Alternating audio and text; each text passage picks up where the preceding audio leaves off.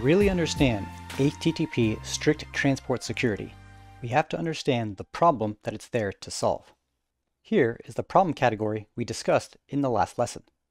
And I want to start this lesson by very clearly illustrating how this problem works. This is a client and a server. The way most browsing sessions start is the client issues a request to a particular website. But the client very rarely explicitly types HTTPS and then the website name. Often, the client simply types something like site.com and hits enter, or browses to a site via a bookmark or a link. Which means, very often, the user's first request to a particular site happens over HTTP.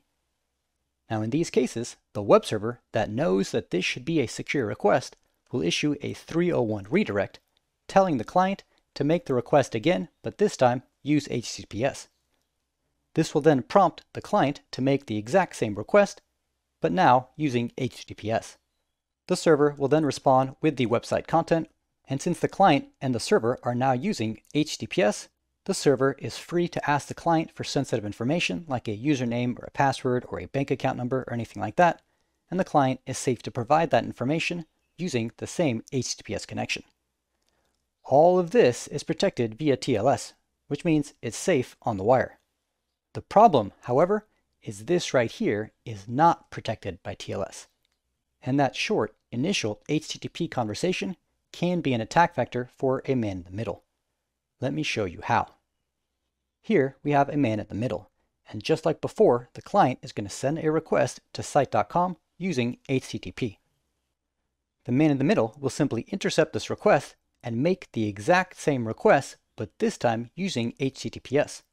That web server is simply going to respond with the website over HTTPS. Remember that this web server has no idea that man in the middle is making this request.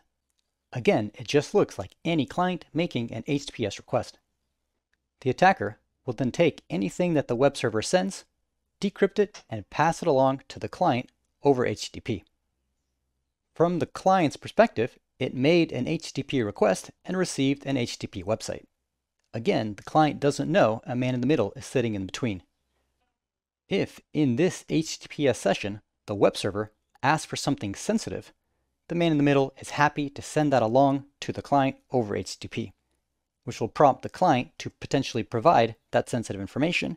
And from here, the man in the middle can either just record what was sent or pass that along to the web server over the HTTP session on this side of the connection. This attack is known as the SSL stripping attack. An SSL stripping attack involves a man in the middle proxying an HTTP connection on one side to an HTTPS connection on the other side. A white hat hacker by the name of Moxie Marlinspike published a tool known as SSL Strip, which does this automatically. Moxie gave a talk at DEF CON 17 back in 2009 titled More Tricks for Defeating SSL, where he released this tool to the public. It's a pretty fascinating talk. If you're interested, it's about 45 minutes long if I recall, but definitely worth checking out if this interests you. Either way, this is the problem that HTTP strict transport security is trying to solve. And it's going to solve this problem by telling the browser that certain websites should always be visited over HTTPS. The way it works is the user will visit some website over HTTPS.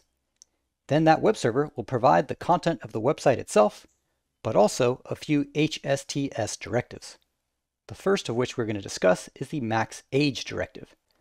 This directive is a duration in seconds to automatically make the request to this particular site over HTTPS. What this means is that when the browser receives this directive, it's going to memorize for the next 63 million seconds that anytime this web browser is visiting the website site.com, that request must always be made over HTTPS.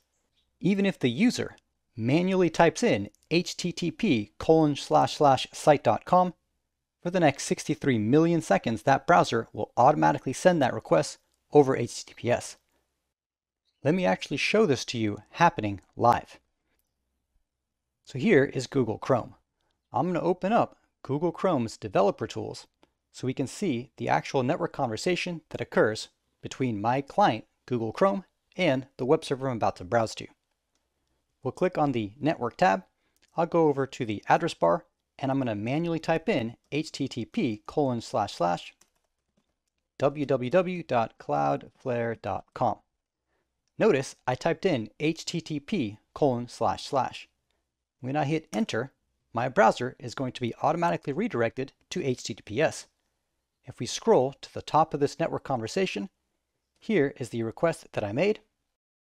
You can see that I made a request for http colon slash slash cloudflare.com and the response that I got was an internal redirect telling me I should actually visit this site over HTTPS. Notice the reason for that redirect was HSTS. This was an internal redirect, which means this request didn't actually hit the wire, which means a man in the middle could not have affected that attack. The web browser itself, in this case Google Chrome, automatically redirected me to the HTTPS version of Cloudflare.com. That is HSTS in action. But that's only the first HSTS directive that we're going to talk about. The next one we're going to discuss is the include subdomains directive. This directive tells the browser to apply this automatic HTTPS redirection to all subdomains as well as the root domain itself. Meaning if the user had requested site.com, this directive would make it so that this automatic redirection to HTTPS would also apply to all the subdomains of site.com as well. So those are the two HSTS directives that we've discussed so far. But there's still a problem. Notice these directives were provided over an HTTPS connection, and we want that to make sure that an attacker cannot mess with these directives themselves. But what happens if the first time the user visits this particular website was over HTTP? The TLS client wouldn't have received these directives yet to automatically send that over HTTPS, which means unfortunately, the first visit to a particular website is still going to be vulnerable to SSL stripping. But the makers of HSTS did think of a solution. That solution is known as HSTS preloading. The way preloading works is there is a static list of HSTS websites that are maintained locally by every browser, and it contains a list of websites that, no matter what, should always be visited over HTTPS, even on the first visit.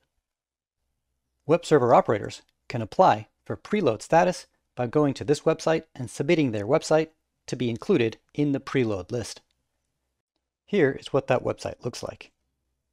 In this box, you can check to see if your website is eligible for HSTS preloading, and then the browsers are going to include some additional instructions for you in your submission. Now, this will also require sending another HSTS directive. That directive is the preload directive. The purpose of this directive is to make sure that only the actual web server operators are able to apply for preload status. Anybody can fill out the application form, but only the actual web server operator can add this directive to their web server. So that is the rundown on HSTS. And again, there are three HSTS directives that we discussed. Now there's one more additional benefit that HSTS also provides. And that benefit is that it disables a user's ability to click through SSL and TLS warnings. Meaning, if the user visits a website over HTTPS that is on the HSTS list and receives certificate errors, the web browser will disable the ability for that user to click through any SSL warnings that would appear. So that is the additional benefit that HSTS also provides. And finally, the last thing I want to mention is more of a cosmetic issue. We discussed the three directives as three separate lines. Often they're actually going to be sent in the same line. One way or another, they're going to work the same way. So that wraps up our discussion of HSTS. As of the time of this recording, nearly 30% of the web supports HTTP strict transport security. If you want to see these statistics live, feel free to pull up this website right here. As for us, that wraps up our lesson. The key takeaway is understanding the problem that HSTS is trying to protect you from, and the three HSTS directives and how they work. I hope you enjoyed this lesson. I want to thank you for watching, and we'll see you in the next one. Hey YouTube, if you enjoyed that lesson, then you'll also enjoy the full course that it came from, Practical TLS. It's a deep dive into SSL and TLS, taught methodically and intentionally, full of easy illustrations and in the simplest way possible. You'll get to learn cryptography, certificates, private keys, the handshake, OpenSSL, and everything you need to become an SSL expert. To learn more, check out pracnet.net slash TLS, and if you need more convincing that this is the best TLS training course, then check out the other free lesson previews on YouTube. Thank you and have a great day.